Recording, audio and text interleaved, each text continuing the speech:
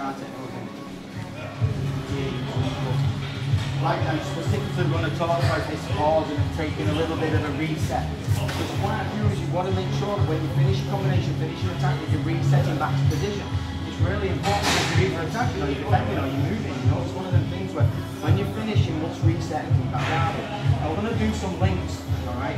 Do some links. Going back to what I said before, your flexibility is not there, still work on kicks, it's more flexible than you to the body, alright?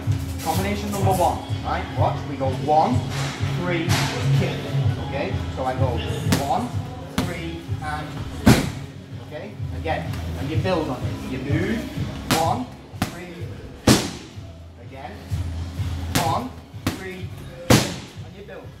Again, breathe out, and you breathe, and you move.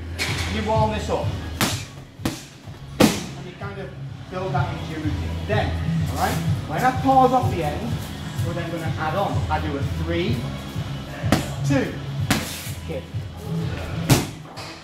Recover, From the beginning, one, three, pause.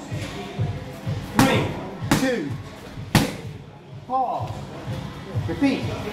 One, three, pause.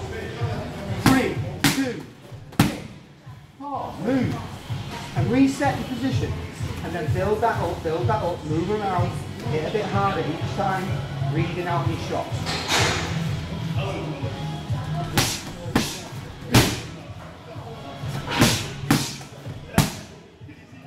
And just build and build and build. Okay? Here you go guys.